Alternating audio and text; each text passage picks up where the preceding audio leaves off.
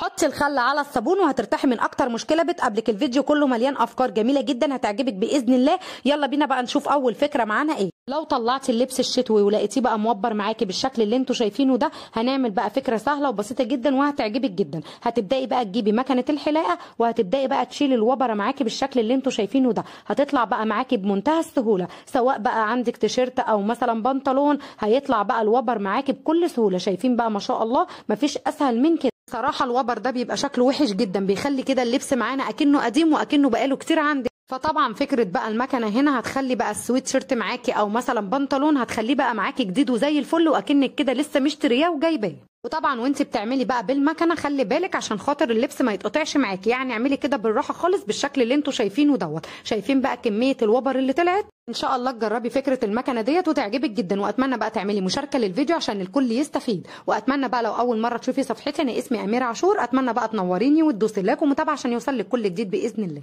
لو زقتي بقى ترابيزة أو كنبة أو كرسي بتسيب بقى علامة كده وتجرح السيراميك معاكي هنعمل بقى فكرة سهلة وبسيطة جدا. هتجيبي بقى سنة صغيرة جدا من معجون الأسنان وهتبدأي بقى تفرديها معاكي بالشكل اللي أنتوا شايفينه ده وهتسيبيها بقى لمدة ربع ساعة. وهاتي بقى قطعة من السلك الخشن ده وابدأي بقى ادعكي كويس جدا. هتلاقيها بقى طلعت معاكي بمنتهى السهولة. بصراحة مفيش أسهل من كده. إن شاء الله تجربي الطريقة ديت وهتعجبك جدا. الفكرة دي بقى جميلة جدا. هتجيبي معلقتين كبار من الخل ومعلقة كبيرة من الصابون السائل ونص معلقة صغيرة من السكر وربع معلقة صغيرة من البيكنج باودر أو الكربونات المتوفر عندك. ضيفيه وقلبي بقى المكونات كويس جدا مع بعض. عايزة أقول لك بقى الخلطة الرهيبة اللي إحنا عاملينها ديت مش هتخلي لك بقى فيه هاموش خالص في مطبخك. شايفين بقى الهاموش كله بيسقط كده جوه الطبق نفسه بالشكل اللي أنتوا شايفينه ده. بجد فكرة سهلة وبسيطة جدا ومكوناتها في كل بيت. إن شاء الله تجربي الطريقة ديت وهتعجبك جدا وهتدعي لي عليها ما تنسيش بقى تعملي مشاركة للفيديو عشان الكل يستفيد. تعالي بقى أقول لك على فكرة سهلة وبسيطة جدا وهتنفعك جدا. لو عندك بقى حوض المطبخ معاكي بالشكل اللي انت شايفاه دوت طبعا لما بيجي على الرخامه مية في الحتت المفتوحة ديت بتسرب معاكي المية وبتبهدل معاكي الدنيا. هنعمل بقى فكرة سهلة وبسيطة جدا. هتروحي بقى عند أي موان وهتقولي له عايزة السيليكون الحراري. بصراحة أنضف سيليكون ممكن تستخدميه وهجيب بقى المقص وهفتحها بقى معايا بالشكل ده. وابدأي بقى حطي على حرف الحوض. بالشكل ده بقى هيمسك معاكي في الرخامة والحوض. واستحالة بقى كده ينزل مية معاكي ابدا. وبعد ما تخلصي بقى حوالين الحوض كله وهو لسه طري كده جيبي بقى منديل وابدأي بقى شيلي أي زيادات عشان خاطر طبعا لما بينشف بيبقى شكله وحش جدا معاكي. أتمنى بقى تعملي مشاركة للفيديو عشان الكل يستفيد.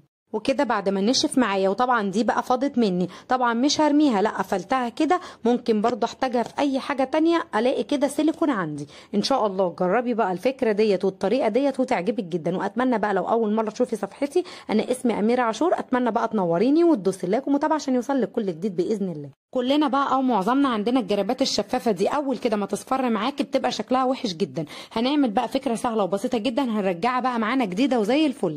هجيب بقى معايا الورنيش أو الغرا أو الصمغ أي حاجة متوفرة عندك اشتغلي بيها مفيش أي مشكلة خالص. وهجيب بقى فرشة السنان طبعا تكون بقى قديمة عندك كده وما بتستخدمهاش أو أي حاجة كده تحطي بيها.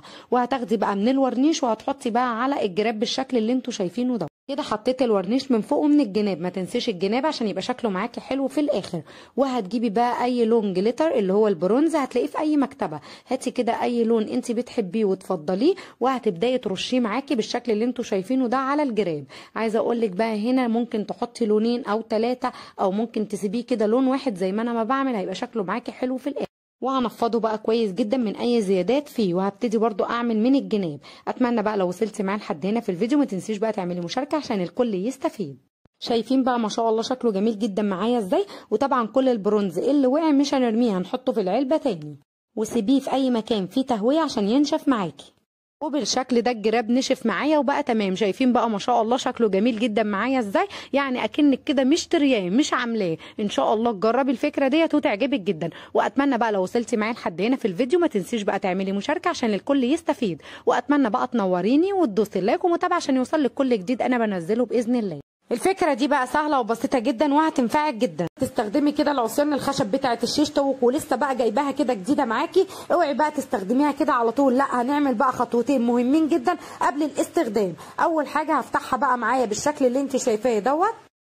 هتجيبي بقى أي طبق عندك وهتحطي فيه مية عادي خالص من الحنفية وهتبدأي تنزلي بقى بالعصيان وبعد كده هتنزلي بقى بربع كوباية من الخل بالشكل اللي انت شايفاه دوت.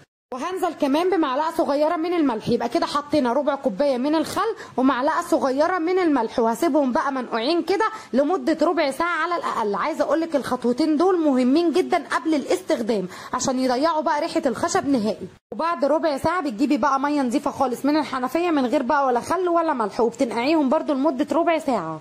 وهتطلعيهم بقى وتنشفيهم معاكي. كويس جدا وتستخدميهم بقى مفيش أي مشكلة خالص.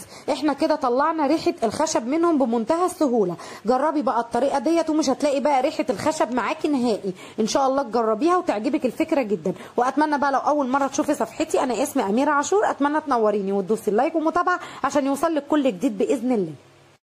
تعالي بقى أقول لك على فكرة سهلة وبسيطة جدا بدل ما ترميها تستفادي بيها. أول كده ما فرشة الشيش تتكسر معاكي بالشكل اللي أنتوا شايفينه ده اوعي بقى ترميها. هتجيبي بقى بديل أو تغيير الفرشة. عايزة أقول لك بقى بتنضف أحلى من الفرشة نفسها وبتتباع عند أي محل أدوات منزلية.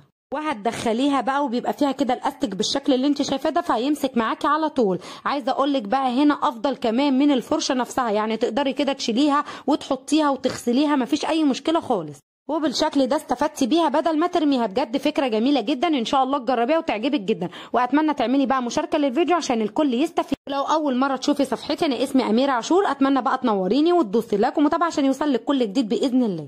شايفين بقى الجمال؟ لو عرفتي بقى فوائدها مش هتبطلي تعمليها. هنعملها بقى بطعم وريحة زمان. عايزة أقول لكم حرفيا طعمها وريحتها تحفة جدا. دي بقى مش ملوخية دي اسمها خبيزة. لو ما جربتهاش بجد فايتك كتير. يلا بينا بقى نشوف الطريقة الجميلة ديت عملناها إزاي. جبت بقى ثلاث حزم من الخبيزة بخمسة جنيه. قولي لي بقى في التعليقات عندكم وصلت لكام؟ وطبعا ممكن تزودي الكمية أو تقللي براحتك خالص. وقرطفتها وغسلتها وهويتها بقى كويس جدا. هتجيب بقى المخرطة وابدأي بقى خرطيها معاكي أكنك كده بتخرطي الملوخية معاكي. بالظبط أنا بصراحة ما بقتنعش بالخلاط أو الكبة. أحلى حاجة كده المخرطة في الملوخية والخبيزة.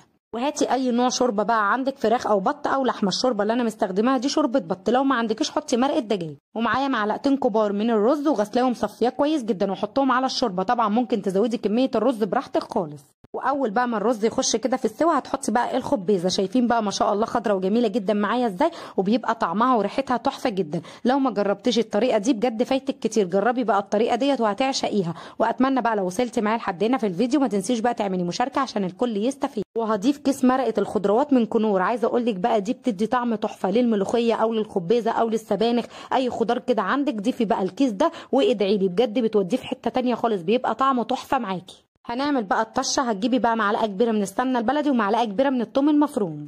وأول بقى ما الطومه تصفر كده معاكي هتبتدي بقى تنزلي بمعلقة صغيرة من الكزبرة الناشفة. طبعا بنحطها في الآخر عشان ما تمررش معاكي لا إحنا عايزينها كده تدينا بس ريحة التحميصة الحلوة مع الطومه وأول كده ما يصفروا مع بعض هتحطيهم بقى على الخبيزة. وأحلى طشة دي ولا إيه؟ بجد عايزة أقول لكم ريحتها تحفة جدا. إن شاء الله تجربي طريقة الخبزة دي وهتعجبك جدا ولو مش بتحبيها هتعشقيها. أتمنى بقى لو أول مرة تشوفي صفحتي أنا اسمي أميرة عاشور. أتمنى بقى تنوريني وتدوسي لايك ومتابعة عشان يوصلك كل جديد بإذن الله. وما تنسيش بقى تعملي مشاركة للفيديو عشان الكل يستفيد.